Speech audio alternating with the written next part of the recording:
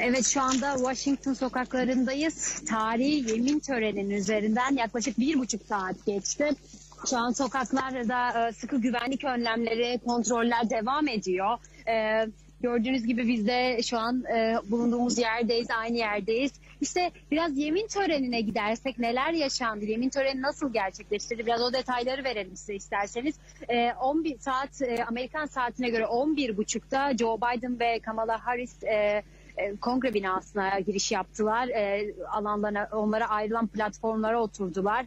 E, ve yemin törenine dediğimiz gibi daha önce de söylemiştik Lady Gaga'nın e, Amerikan Marşı'nı e, okumasından sonra başlandı. E, ardından Kamala Harris e, Anayasa Mahkemesi kadın üyesi e, Sonya Mata e, so, e, Sotomayor eşliğinde e, yeminini etti. Ardından bir konuşma yaptı ve e, Amerika'nın 46. devlet başkanı e, Joe Biden ise e, ardından Kamala Harris'in ardından Anayasa Mahkemesi başkanı e, John Robert eşliğinde e, töre, yeminini etti ve ardından e, Biden konuşmak için sahneye çıktı ve aslında Biden'ın konuşmasında e, beklediğimiz mesajları verdi. Amerikan halkın da beklediği mesajlardı. Barış içerikliydi genellikle Biden'ın verdiği mesajlar. İşte o mesajlara biraz bakarsak e, demokrasinin e, bu e, benim e, bir adayın zaferi değil demokrasinin zaferidir dedi Biden. E, kendisine oy vermeyenler için de başkanlık yapacağı sözünü verdi ve e, Amerika'nın son yıllarda e,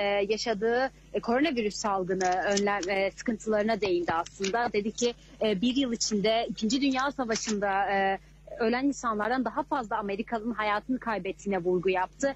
İşte Biden'ın aslında konuşmasının ana konusu koronavirüs salgınıydı diyebilir. Çünkü 400 bin Amerikalı hayatını yitirmişti ve dün yani yemin töreninden bir gün önce e, Joe Biden ve Kamala Harris de e, bu 400 bin kişinin anması için e, Washington'daydı. Bir tören gerçekleştirdiler. İşte Biden'ın aslında diğer ele aldığı konulardan biri ise ırkçılıktı. Amerika'da son dönemde çok e, ciddi sıkıntılar yaşanan iç terörün olduğuna vurgu yaptı. Bununla mücadele edeceğine e, değindi Biden. Ardından biz Amerika tarihine umutla yazacağız, korkuyla değil dedi. 6 Ocak'ta kongre binasına gerçekleşen saldırı ya vurgu yaptı ve bunun için dedi ki biz umutla korkuyla değil dedi. E, son yıllarda ABD'nin karşı karşı olduğu problemlere de değindi Biden. Ekonomik sorunlara değindi. İşte işsizlik, adaletsizlik ve ırkçılık e, e, gibi ekonomik e, sorunları da düzelteceğine vurgu yaptı. Ee, Biden konuşmasını bitirdi ve şu an e, Amerika sokakları hareketli. Bahsettiğimiz gibi ulusal muhafızlar ve polis e, gerçekten sıkı bir denetim sağlıyor şu anda burada. E, ciddi güvenlik önlemleri alındı ve devam ediyor.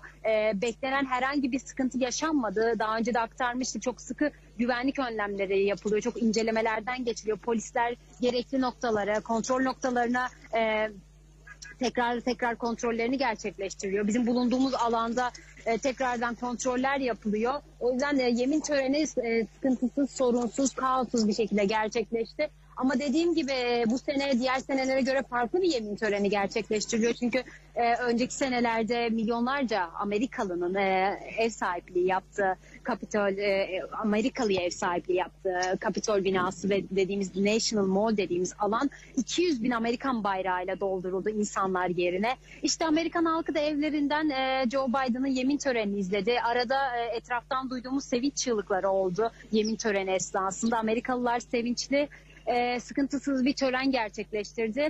E, bu tören yemin töreni sonrasında daha önce de aktarmıştık e, balo düzenleniyor. E, ama tabii bu baloda e, alınan önlemler kapsamında iptal edildi. Bunun yerine e, bir televizyon programına katılacak Joe Biden. Tom Hanks e, yani Hollywood yıldızı Tom Hanks'in ev sahipliği yaptığı ortak yayın yapılacak. Birçok Amerika kanalında yayın aynı anda yayınlayacağı Amerika saatiyle akşam 8.30'da yayınlanan bir televizyon programına katılacak Kamala Harris'le birlikte.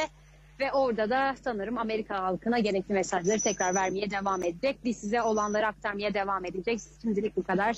Özlem Çelşer, Reality Washington.